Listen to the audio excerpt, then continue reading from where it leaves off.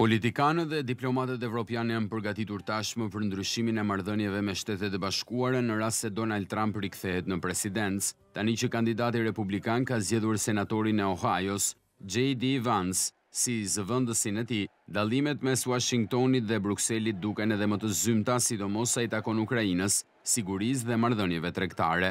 Një kritik i zëshëm i ndihmës amerikane për Ukrainën, Vance deklaroi këtë vit në Konferencën e Sigurisë në Mynih se Evropa duhet të zgjohet dhe të kuptojë se Shtetet e Bashkuara duhet të fokusohen tek Azia Lindore. Mburoja amerikane e sigurisë ka bërë që Evropa të degradojë në aspektin e sigurisë, tha ai. Nils Schmid, një ligjvënës i hershëm i partisë së kancelarit gjerman Olaf Scholz, tha për BBC-në se besonte se edhe një presidencë republikane do të zgjedhë të qëndrojë në NATO, edhe pse JD Vance foli për më shumë izolim dhe Trump është i paparashikueshëm.